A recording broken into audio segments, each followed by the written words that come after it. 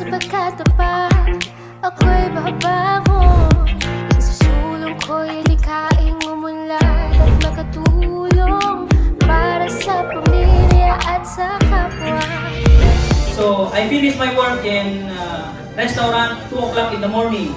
So, I need to go home uh, 2 o'clock in the morning. I reach my home like 3 o'clock. And I need uh, to wake up at 7 o'clock in the morning to come uh, to study. FI.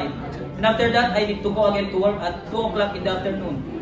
And sometimes also, I met some people uh, who is discouraging me, why now you are old, why you taking caregiver, you will take care of old people, you will, you will clean them, you will do so on and so on.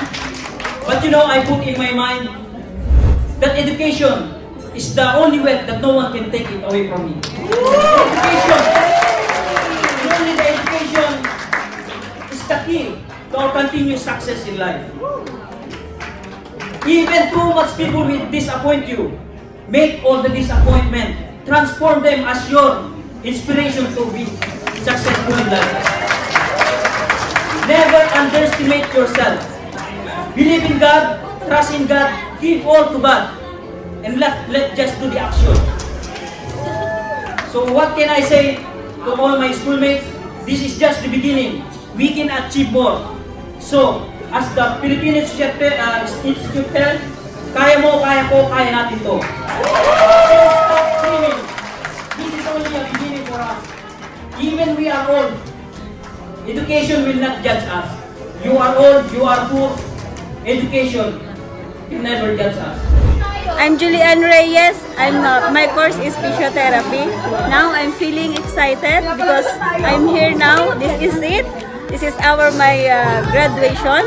And thank you to my family uh, to all support to me. Thank you, thank you very much. And to my teacher and then the FI uh, management. Thank you very much to all. Bye. Ay, ako pala si Gilbert Barrel.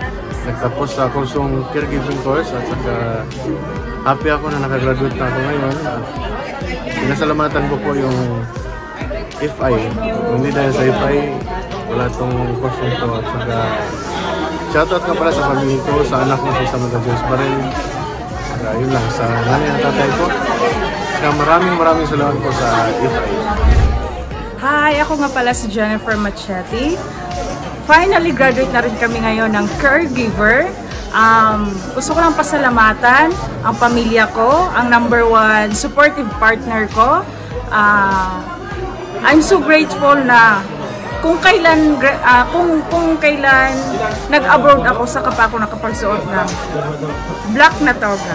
Thank you. Hello po, ako po si Mendrick Magas. Uh, thank you po uh, caregiver courses. Thank you po sa FI family and to, to our uh, teacher, Ma'am Carly. Salamat po sa lahat ng student also. Uh, huwag po kayong ma, ano, mawala ng pag-asa. Mag-aral po tayo para mas mabuti po yung mga uh, kwan natin sa buhay. Salamat po sa lahat. Antonio de Mesa po. Electrical uh, Engineering diplo with diploma. Kapasalamat ako sa pamilya ko, uh, sa suporta at sa mga kaibigan ko. Kaya ako natapos ito. Uh, my name is Jonathan. Uh, ngayon nakapagtapos na ako ng uh, electrical engineer uh, na napakasaya dahil uh, isa, isa ito sa uh, talagang isa sa naging plano ko nung magpunta ako dito. Ngayon eh ito na yung makakatanggap na ako ng diploma na engineer.